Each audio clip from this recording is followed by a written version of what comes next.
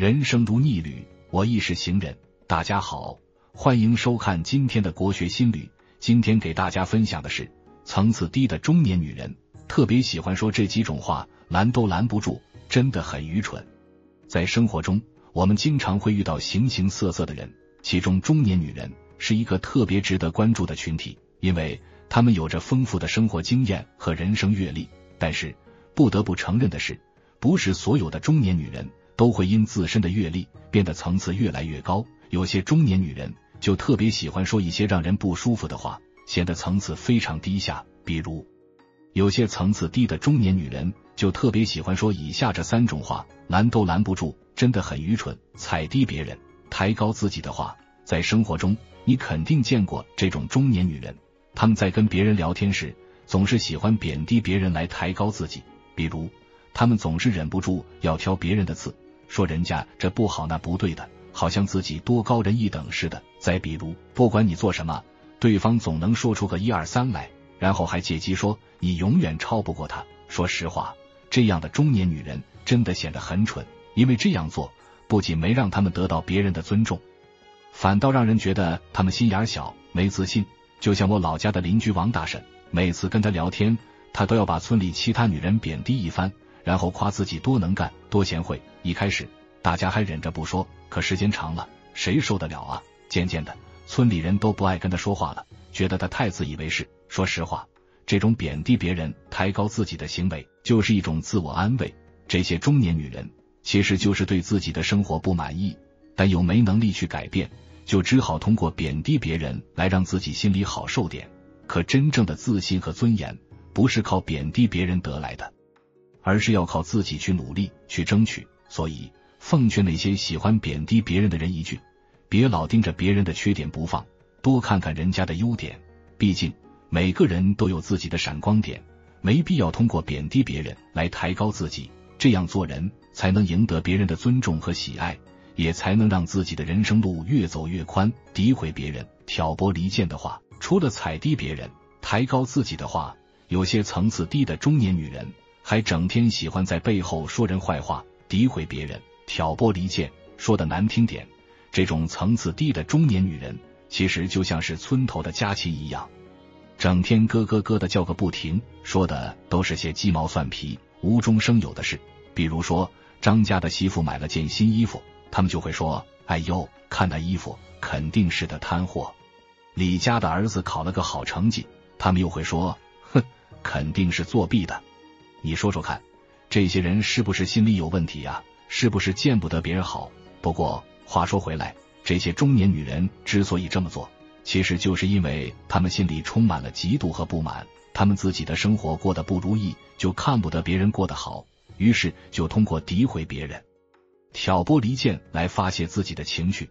可是这样做并不能让他们真正快乐起来，反而会让他们更加痛苦和孤独。看看那些善良正直、乐于助人的高层次的中年女人，她们是从来不会说人坏话的，也不会挑拨离间，因为她们懂得珍惜人与人之间的情谊，愿意为朋友付出真心和关爱。这样的中年女人才能赢得别人的尊重和信任。而那些喜欢在背后说人坏话、层次很低的中年女人，只会让人越来越反感，最后连个朋友都没有。所以，做人还是要善良一点、正直一点的好。充满负能量、抱怨连天的话，生活中还有一些中年女人喜欢整天抱怨，一张嘴就是满满的负能量。其实这类中年女人的层次也是非常低下的，因为不管是家庭、工作还是人际关系，都会成为他们抱怨的话题。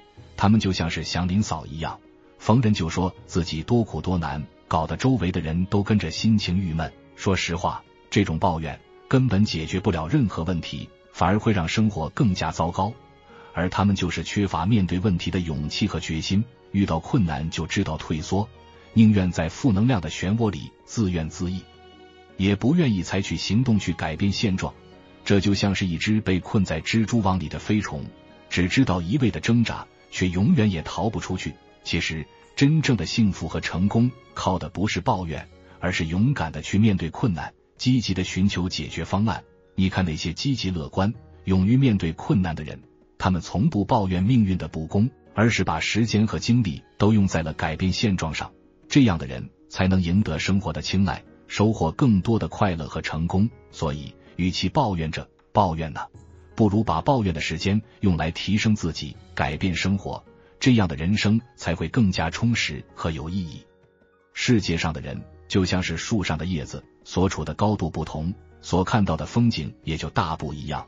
从一个人的说话做事、待人接物，便能够看出他的秉性、他的层次。层次高的人，让人自然而然的心生欣赏和敬佩；而层次低的人，只会让人感觉厌恶，忍不住想要远离。层次高不高，一眼能看出来。层次低的女人，连说话都很糟糕，好炫耀，时刻想要表现自己。层次低的女人，总想在别人面前找存在感，喜欢炫耀，喜欢享受别人羡慕的眼光。只要看到机会，他就会表现自己，从不考虑场合，也不在意别人的心情。在和别人相处交流的时候，他很少会耐心倾听，也经常打断别人的话语，所有的注意力都放在自己身上。他不关心别人在说些什么，而是不断把话题往自己身上引，向别人炫耀自己幸福的家庭、疼爱她的丈夫、孝顺的儿女等等；要么就是展示自己买的最新款的背包、收到的礼物，或者是身边异性对她的殷勤追求。层次低的女人生怕别人不知道她过得好，也想通过炫耀的方式把自己放在更高的位置供人仰视，而越是喜欢炫耀。越是容易败坏好感，让自己显得墨水瓶，没有真正的底气，好抱怨，喜欢推卸责任。人这一生中，超过百分之八十的时间都在处理人际关系上，因此你所遇到的种种困难，十有八九也是出在人与人之间的沟通上。简言之，也就是你在面对问题时的处理方式。试想一下，同学聚会上，许久不见的老同学问你最近怎么样，你会怎么回答？如果你只说了一句还好。那么他可能会觉得你很敷衍，对他爱答不理的。如果你眉飞色舞说老公给你买了多贵的包，老板又让你升职加薪了，当下的他会觉得你很喜欢炫耀、攀比。如果你开始埋怨生活的不易，每天上班被同事冷落，下班回到家还要被指使干活，忙得一团糟，那么对方可能会下意识觉得你是一个很负能量的人。你是不是突然觉得怎么回答都不对？在点破之前。其实很多人以为说话是一件再简单不过的事，两个人随便聊就可以说很多话。可实际上，对于很多人来说，好好聊天实在太难。不懂得沟通，不仅会给人情商低的印象，还总会因为一张嘴搞砸整件事。自己遇上个事，身边连个商量帮助的人都没有。我们公司有个老员工，总是仗着自己的资历差遣其他人。有一次，领导给他安排了一个任务。他转头就把任务交给了一个新同事，让新同事在规定时间内完成后交给他。工作任务交上去之后，领导发现了很多错误，给客户造成了损失，对他提出了批评，还要扣他的奖金。他心里不痛快，又把责任推给了新员工，还为自己辩驳，说自己也是给新员工锻炼的机会，完全是为了他好。他这种推卸责任的做法，不是一次两次了，领导很失望。最后决定予以劝退处理。层次低的女人遇到事情喜欢推卸责任，认识不到自己的错误和差距，也很难获得进步。他嘴上喜欢抱怨，总是怪这个怪那个，仿佛谁都不如他，却不知道别人心里也早就否定了他。层次低的女人对自己很宽容，出了事情第一想法便是如何自保，把自己摘得干干净净。她很容易失去他人的信任和认可，不管在生活中还是事业上。都无法让人真正欣赏，眼里容不下别人。小日子中，张美亚是朱静草的小姨，她每次来上海都会占便宜，搜刮一番。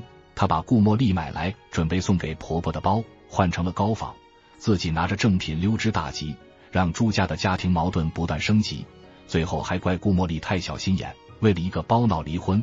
后来他又听说自己的儿子在追求沈溜溜，直接登门在沈溜溜面前摆婆婆的架子。沈溜溜表明了自己的态度，说自己和他的儿子没有可能。张美亚转头就开始说沈溜溜的坏话，将他贬得一无是处。张美亚说话毫无顾忌，做事没有底线，总是给其他人制造各种麻烦，最后还像没事人一样。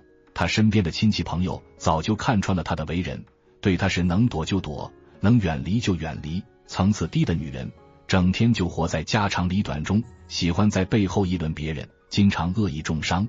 她眼里容不下别人，只要别人不能为他所用，他便会视为敌人，想方设法的针对。卢思浩说：“一个人没有教养的标志之一，是去别人的生活里指手画脚，轻易去影响别人的好心情，打扰别人的小幸福。